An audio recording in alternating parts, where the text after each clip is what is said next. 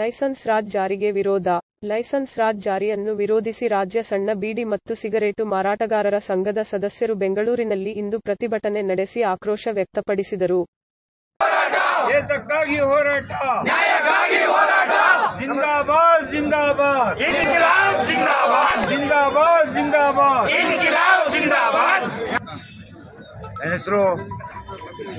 B N Muralikrishna, Karnataka ರಾಜ್ಯ ಚಿಲ್ಲರೆ ಬೀಡಿ cigarette ಮಾರಾಟಗಾರ ಸಂಘದ ಅಧ್ಯಕ್ಷ. ಬಂಧುಗಳೇ, ನಾವು ಇವತ್ತು ಸುಮಾರು ಮೂರು ಸಾವಿರ ಜನ ಸ್ಟ್ರೈಕ್ ಮಾಡ್ತಾ ಇದ್ದೀವಿ.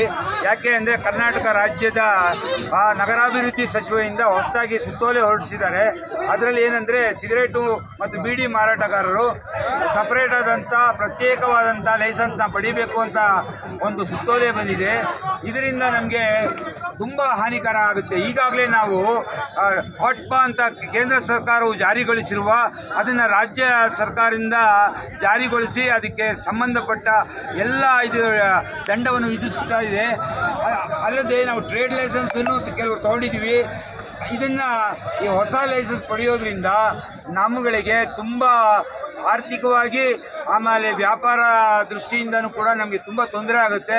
ಯಾಕಂದರೆ ಇದಕ್ಕೆ ಪಡೆಯುವಂಥ ವಿದ್ಯಾರ್ಹತೆ ಆಗಲಿ ಇದಕ್ಕೆ ಪಡೆಯುವಂಥ ನಮಗೆ ಫೈನಾನ್ಷಿಯಲ್ ಇದು ಇಲ್ಲ. ಬಂದ ಕರೋನಾದಲ್ಲೇ ನಾವು ಯಾ, ಯಾರೂ ನಮಗೆ ಸಹಾಯ ಮಾಡಿಲ್ಲ. ಈಗ ಸುಮಾರು ಹತ್ತು ಸಾವಿರ ರೂಪಾಯಿ ಅಷ್ಟು ನಾವು ಖರ್ಚು ಮಾಡಬೇಕಾಗುತ್ತೆ. ಯಾಕೆಂದರೆ ಲೈಸೆನ್ಸ್ ಒಂದು ಸಾವಿರ ಆದರೆ ಅದನ್ನು ಫುಲ್ಲು ಅದು ಎಲ್ಲ ಡಿಪ ಇದು ಚೆ ಇದ್ರ ಹೋಗಿ ಬರೋಷ್ಟರಲ್ಲಿ ಸುಮಾರು ಹತ್ತು ಸಾವಿರ ರೂಪಾಯಿ ತನಕ ನಾವು ಖರ್ಚು ಮಾಡಿ, ಮಾಡಬೇಕಾಗುತ್ತೆ. ಇದರಿಂದ ಭ್ರಷ್ಟಾಚಾರ, ಆಮೇಲೆ ಎಲ್ಲ ಡಿಪಾರ್ಟ್ಮೆಂಟ್ಗಳಿಂದ ನಮ್ಮ ಮೇಲೆ ಹರಾಜ್ಮೆಂಟ್ ಆಗುತ್ತೆ.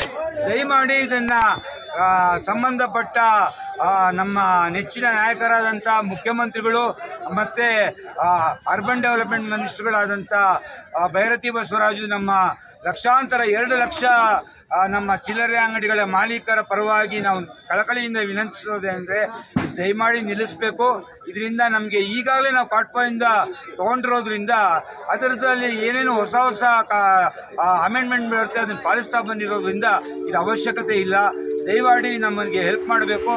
ಕಿರುಕುಳ ನೀಡಬಾರ್ದು. ನಮ್ಮನ್ನು ರಕ್ಷಣೆ ಮಾಡಬೇಕು ಅಂತ ತಮ್ಮಲ್ಲಿ ಕಳಕಳಿಯಿಂದ ವಿನಂತಿಸ್ತೇನೆ.